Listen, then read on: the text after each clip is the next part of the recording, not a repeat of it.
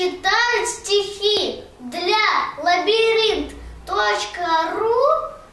Ячменев Толя, 6 лет, 6 месяцев, город Пушкин, Санкт-Петербург. Стихотворение Агдия Барто скворцы прилетели. Ждет гостей высокий клен. Дом на ветке укреплен, краской выкрашена крыша. Есть крылечко для певцов. В синем небе щебет слышу. К нам летит семья скворцов.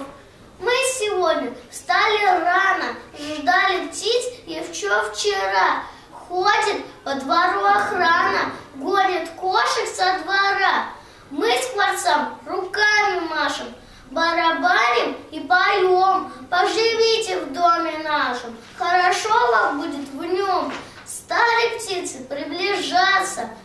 долетели до двора.